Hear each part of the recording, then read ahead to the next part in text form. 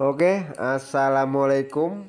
Jumpa lagi dengan channel Bertani Jaya, channel yang mengulas tuntas tentang ilmu memelihara kambing bagi para peternak pemula.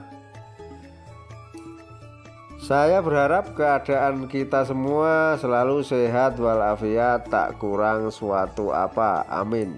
Di dalam video ini kami akan memberitahukan tentang sesuatu hal yang sangat penting karena hal ini berkaitan dengan kesehatan dan ketahanan tubuh kambing kita. Informasinya adalah manfaat dari daun pepaya muda atau daun kates. Kambing saya ini selalu saya beri daun pepaya setiap satu minggu sekali atau istilahnya itu kita gunakan untuk terapi Terapi daun pepaya ini sangat berguna untuk menjaga kesehatan kambing kita. Karena daun pepaya ini kalau saya searching-searching di Google itu mengandung bahan aktif yang bisa mencegah dan juga mengobati kambing yang sedang cacingan. Atau bisa membunuh cacing dan juga telur-telur cacing yang ada di pencernaan kambing kita. Apalagi kambing yang seperti pada gambar ini adalah kambing yang sedang menyusui anaknya. Kalau yang sedang menyusui anaknya itu bisa bermanfaat ganda. Anaknya tidak perlu diberi obat cacing tetapi cukup indukannya saja. Nanti kalau anaknya itu menyusui pada induknya itu otomatis khasiat dari daun pepaya ini sudah terse bisa terserap oleh tubuh anak kambing tersebut.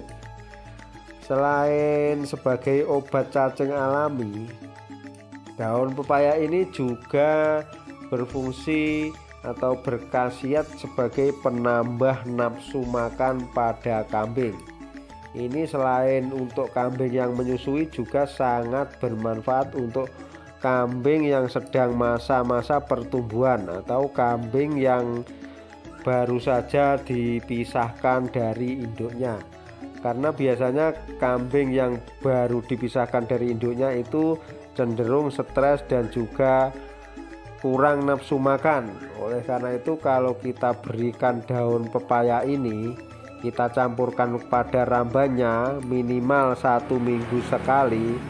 Itu insya Allah nafsu makannya akan bertambah sehingga mempengaruhi dari pertumbuhan kambing tersebut.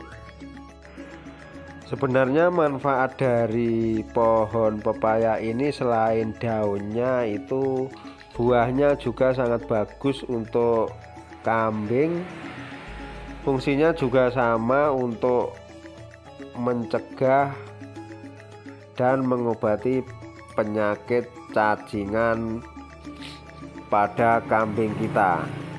Tapi kalau untuk buahnya itu buah yang mentah. Kalau buah yang sudah masak itu cenderung untuk kebutuhan protein dan juga karbohidrat kambing-kambing kita Oke, sekiranya itu sedikit informasi dari kami.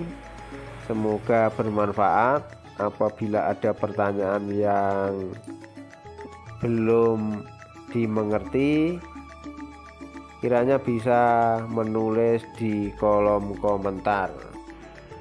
Bagi yang belum subscribe jangan lupa subscribe channel ini agar kami bisa terus semangat untuk membuat video-video yang mudah-mudahan bermanfaat bagi kita semua.